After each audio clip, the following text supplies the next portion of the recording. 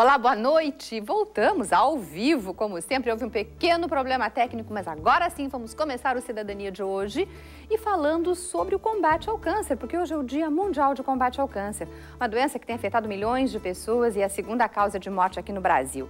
As campanhas de esclarecimento, o trabalho de prevenção, o trabalho de tratamento desta doença são assuntos do programa de hoje com o nosso convidado, que é o coordenador do Centro de Prevenção do Câncer da Clinionco, o médico Rafael Castilho Pinto. A gente ressalta aqui no começo do programa, agora com tudo funcionando a pleno, que você pode participar da nossa página no facebook.com.br cidadania TVE. Vai lá, curta a nossa página, sugira assuntos dê sugestões para o programa. Aqui no ar também você pode participar. Estou aqui acompanhando uh, tudo que se passa também no Facebook. Pois, doutor Rafael, boa noite, seja bem-vindo. Boa noite, obrigado pelo convite. Doutor Rafael, quais são os maiores desafios da área da medicina no que se refere ao câncer hoje, né? Que, que, afinal de contas, teve uma evolução em tratamentos e tudo. Hoje, qual é o principal desafio? Na verdade, nós temos três áreas importantes para trabalhar. A primeira e mais importante é a prevenção, é desenvolver a prevenção, uh, tanto a prevenção primária, que é os hábitos de vida saudável, quanto a prevenção como exames. A segunda, talvez a mais difícil, é desmistificar o câncer. O câncer hoje é uma doença não só prevenível, como tratável. Mesmo quando a pessoa tem o diagnóstico de câncer, onde a gente não consegue preveni-lo, a gente tem muitas opções de tratamento e o resultado quase sempre é bom. E a terceira é em relação ao próprio tratamento, o que tem tido muitos avanços. Claro, algumas situações ainda fogem do controle da medicina, eh, mas mesmo nessas situações, o apoio do tratamento, uh, digamos assim, do acompanhamento, do, da melhora da qualidade de vida também evoluiu muito. Então, prevenção, uh, desmistificação e avanços no tratamento são três áreas que a gente tem que cada vez falar mais para que as pessoas entendam que tem que se tomar atitudes. Quando a gente tem sintomas, procurar um médico para fazer um diagnóstico precoce. Quando a gente não tem, muitas vezes, tomar atitude de ir consultar, de ter uma vida saudável para prevenir o câncer muitas vezes tem problemas de, de saúde, né? Na, na, tem, tem, problema na família, tem, tem, já, já tem uma propensão a ter um câncer, então, então a, a, o trabalho de prevenção é, é, é mais importante ainda, né? Com certeza. Hoje em dia a gente tem, vamos dizer, idades regulamentares para se fazer prevenção. E quando a gente tem uma história familiar, essas idades mudam. Normalmente elas vão ser mais precoces, principalmente nos tumores de mama, de intestino e de próstata. A idade ela muda uh, a idade que se deve fazer a prevenção regulamentar.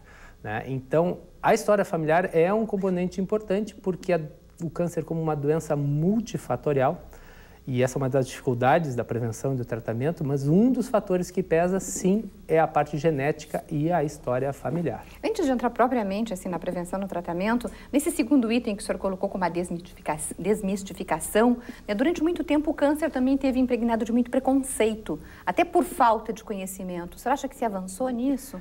Eu acho que se avançou, mas nós temos um longo caminho pela frente. E o caminho é a gente divulgar, é informação. Na verdade, a informação é o principal problema em relação ao preconceito. Preconceito normalmente é igual a falta de informação.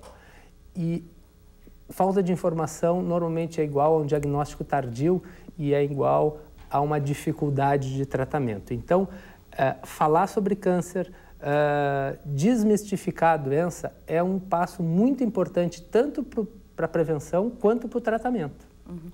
Começando nisso, o que é um câncer, doutor? O que é se ter câncer? Bom, uh, esse, essa definição é complicada porque o câncer, na verdade, são várias doenças. Uh, mas, no geral, é um crescimento desordenado das células, que não uh, atende aos comandos das células normais e ele tem uma tendência ao crescimento e, numa segunda etapa, à disseminação. Quer dizer, ele tenta sair do local original e dá as conhecidas as metástases. Então, é um crescimento desordenado das células que tem múltiplos fatores genéticos, locais, ambientais, uh, alimentação, uh, imunidade, fatores emocionais provavelmente estão uh, relacionados, não se consegue estudar bem isso, mas é uma doença muito, muito multifatorial. E essa é uma das dificuldades, principalmente no tratamento, porque os remédios de vez em quando atuam em uma parte do problema, mas deixam outra parte descoberta. Mas isso são coisas que, assim, do que já se evoluiu nos 20 anos uh, que se passaram, a gente já tem grandes conquistas. Então, tanto na prevenção quanto no tratamento, quando se fala em câncer hoje e se fala 20, 30 anos atrás, nós temos um panorama muito melhor, apesar do aumento do número de casos. Claro. Afora a questão hereditária, que outros fatores podem uh, vir a agravar ou, ou a, a, a propiciar, por exemplo, o desenvolvimento de um câncer? A primeira coisa que a gente tem que entender é que a idade é o principal fator de risco para câncer. Então, se a gente quer viver mais e se está aumentando a longevidade da população, nós naturalmente vamos ter mais câncer. Então, o principal fator de risco para se ter câncer é ficar mais velho. Só que todos querem ficar mais velhos. claro. Então, esse nós não é temos a outra solução. Opção é não, a outra opção é morrer muito cedo. Então, uh, esse nós não temos solução. Agora, os fatores ambientais, eles são muito importantes. E talvez o grande tripé esteja no alimentação saudável, na atividade física e o outro que não é ambiental, mas é comportamental, que é o tabagismo. Né? Uhum. O tabagismo representa um terço de todos os tumores. Se a gente acabasse com o tabagismo, a gente ia ter um terço a menos de tumor. Porque quando se fala até na, na questão de, de, né, do vício do cigarro, se pensa só em pulmão. Mas não, né? Porque, até porque a fumaça se espalha pelo corpo inteiro. Né? O pulmão, Ela, vamos Através dizer, da corrente sanguínea. É, o pulmão é o órgão de choque, não só o pulmão.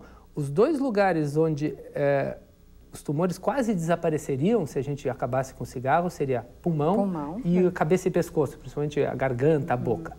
Esses são afetados diretamente pelo cigarro. Mas o cigarro afeta quase todos os órgãos. O câncer de intestino aumenta consideravelmente, o câncer de bexiga é muito relacionado com o cigarro. O câncer de mama, até pouco atrás, não se tinha essa ligação mais clara, mas parece nos últimos estudos que também está relacionado. Então, o cigarro é o primeiro pilar do combate ao câncer, porque ele representa um terço dos tumores. Uhum. E depois seria o que? O sedentarismo, alimentação nessa ordem? Sedentarismo, alimentação e obesidade são fatores que se misturam, mas são fatores muito importantes. Uh, a base é a alimentação, talvez, que é a mudança da alimentação para uma alimentação mais industrializada, mais moderna, que tira um pouco das frutas e verduras. Ainda tem a questão dos agrotóxicos certo, misturados no dizer. meio, mas comer mais frutas e verduras é uma atitude importante na prevenção de câncer. Se pesquisa muito uh, sobre o câncer no Brasil? Assim, existem muitos recursos? Se Há muita pesquisa, pesquisa ou que se sabe vem mais de fora? A, a, pesquisa principal vem de fora. E principalmente quando a gente pensa em fatores de risco... É, Sim, quase... o senhor falou de alimentação, uso de agrotóxico, porque o Brasil é campeão no uso de agrotóxico, né? mas não se tem cientificamente mesmo essa relação. Se sabe de outros países que uhum. usam outros tipos de agrotóxicos.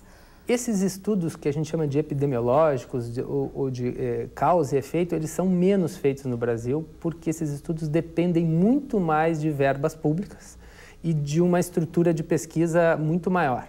Aqui no Brasil a gente até trabalha bem já com medicação, muito porque a indústria farmacêutica acaba ajudando e patrocinando. E aí, então, vários, hoje em dia se faz muitos estudos que a gente chama multicêntricos, são estudos que são feitos nos Estados Unidos, na Europa, no Canadá eh, e no Brasil. Uhum. Mas quase sempre tem a ver com medicações, com avanços nessa área. Os estudos epidemiológicos, populacionais, ainda a gente está engatinhando aqui no Brasil, então a gente tem que acabar usando dados uh, do exterior.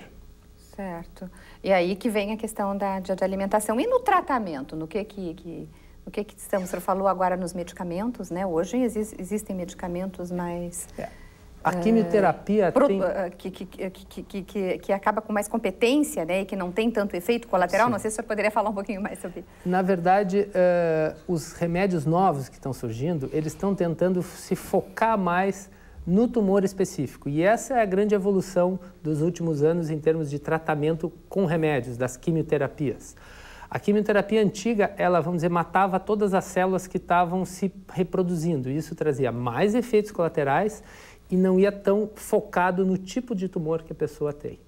Uh, ainda tem muito para avançar nessa área, mas já se tem remédios muito interessantes, tanto na parte de câncer de mama, uh, até os próprios hormônios entraram nesse tratamento para se entender se aquele tumor tem a ver com hormônio ou não. Uh, na próstata, em alguns tipos de tumores de pele. Então, isso está evoluindo, mas é uma evolução muito recente ainda. Tem um caminho muito longo pela frente. Mas esse é um caminho importante, que é o tratamento medicamentoso ser mais focado naquele tipo de tumor daquela pessoa.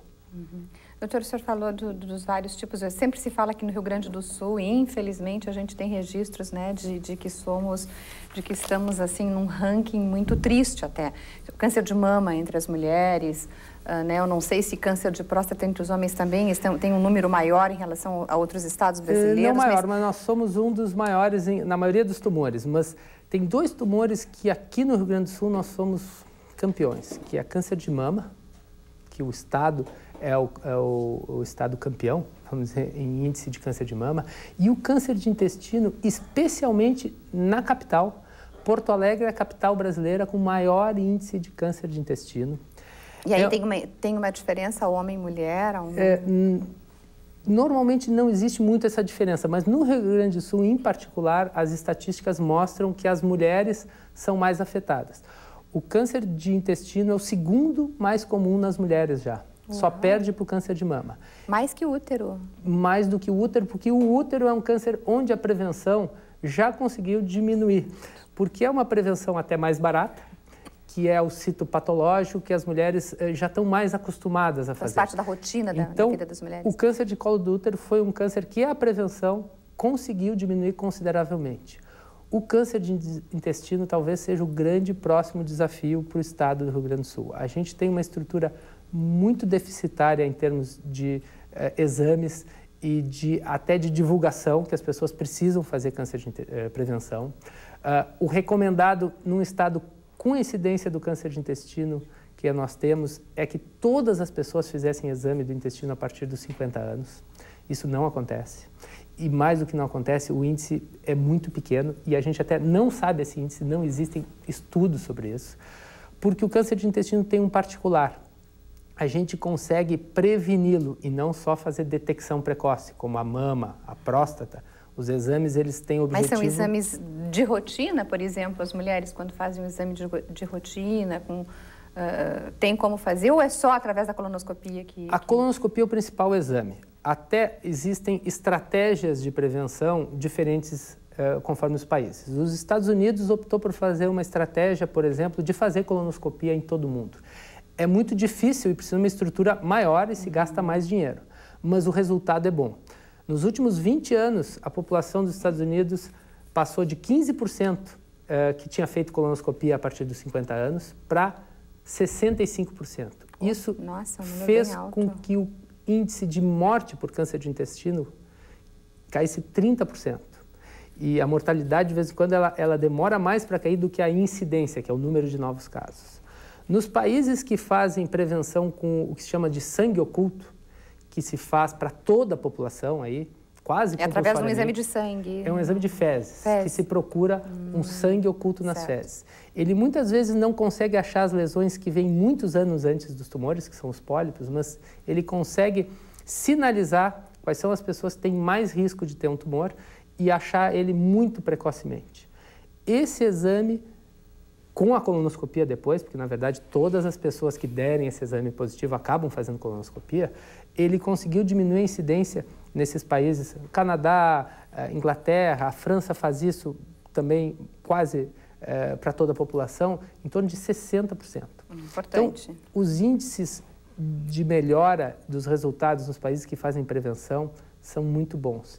E nós temos em comum com eles a grande incidência. Nós temos o mesmo número de câncer de intestino que esses países desenvolvidos. Então, a gente tem que fazer alguma coisa nessa área. Claro. Doutor Rafael, a gente já continua falando, porque hoje também é um, tem um dia, é um dia especial. Hoje é o Dia Nacional do Braille. E a Mariana Baile vai nos lembrar esse tema. Mariana, boa noite. Muito boa noite, Lena. Boa noite, convidado. Tudo bem? E boa noite você que nos assiste. Pois é, o sistema Braille, ele permite a leitura através do tato a pessoas com deficiência visual. E lembrando o Dia Nacional do Braille, eu trago um pouquinho da história de Louis Braille. Foi Louis Braille